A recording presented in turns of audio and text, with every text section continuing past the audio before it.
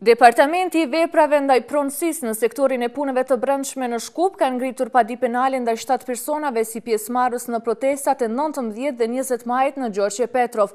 Të paditurit i takojnë moshës nga 16 deri 53 vjeç.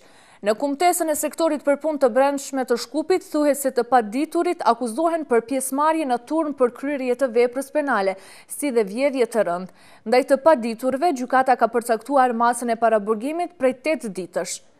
Prokuroria Publike ka ngritur padi penale ndaj të rinjve AV. njëzet e katër, AN. pesëdhjetë e tre, FS. njëzet e një, MG. tetëmbëdhjetë, MZ. shtatëmbëdhjetë, PJ. gjashtëmbëdhjetë dhe ST. gjashtëmbëdhjetë vjeç, të gjithë nga Shkupi për shkak të dyshimit të arsyeshëm se me datën nëntëmbëdhjetë dhe njëzet majin e kaluar kanë kryer veprën penale Pjesëmarrje në turmë me qëllim të kryerjes së veprave penale, ndërsa të akuzuarit AV dhe PJ kanë kryer edhe një vepër tjetër penale, vjedhje të rëndë. Me kryerjen e veprës penale në fjalë janë shkaktuar dëme materiale prej tetëmbëdhjetë milionë denarësh, ndërsa AV dhe PJ kanë marrë nga arkat e bizneseve para të paligjshme në shumën prej njëqind e nëntëdhjetë e një mijë e tetëqind denarë.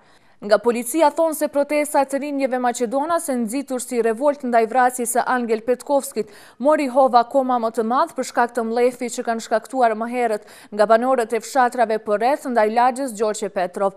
Tek banorët e fshatrave përreth insinuohen shqiptarët. Në revoltën e të rinjve maqedonas u shkatërruan disa objekte afariste shqiptare si dhe u sulmuan me gurë edhe dy nga autobusët urbanë. Ndërkaq, për dallim nga kumtesa e mëhershme e policisë, ku emri i autorit që kreu vrasjen e të riut maqedonas u shpall publikisht, në këtë kumtesë policia u referohej autorëve të krimeve vetëm me iniciale.